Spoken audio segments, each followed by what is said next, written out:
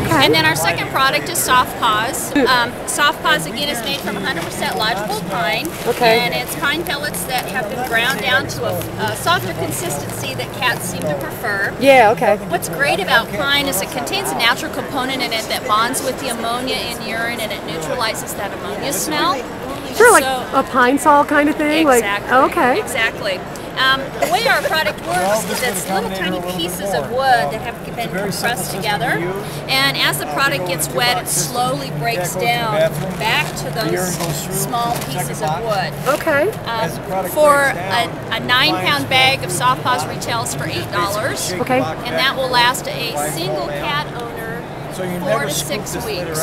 Oh, that's a lot. And then when they're done using it as litter, what we recommend and suggest is that they take it outside, put it in their compost pile, under their trees or in their flower bed, and it gets a second life as well. Okay, but not vegetables. Um, you can't. You're gonna you're gonna scoop the poo. You have to do that, and Okay, that's yeah. the part you send to the landfill.